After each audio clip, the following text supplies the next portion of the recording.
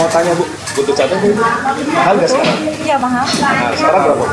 Sekarang banyak. Soalnya saya nanam di rumah sih nggak pernah Oh gitu. gitu. Ibu tanam juga Iya. cabai. Jual berapa Bu?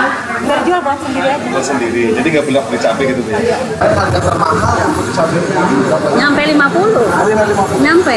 Ini nyampe 140. Lama itu ada dua bulan mah tingginya. Dari bulan Januari sampai Februari.